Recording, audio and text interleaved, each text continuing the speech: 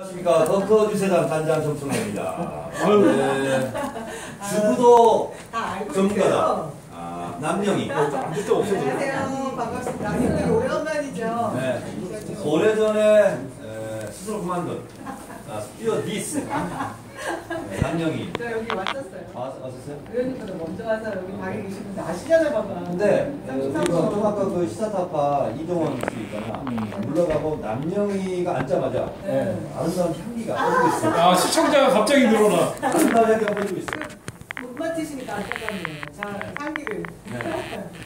남영이 삼행시. 이분에 대한 삼행시도 야, 네, 정말 이 시대 최고.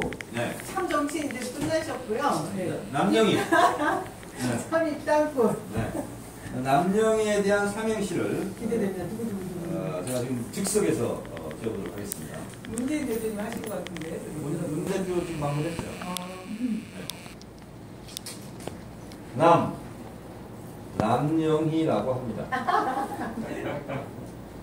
영. 영희라고도 부르지요. 급죠, 급죠, 급죠.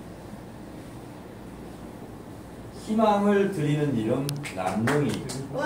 많이 사랑해 주세요. 감사합니다. 자,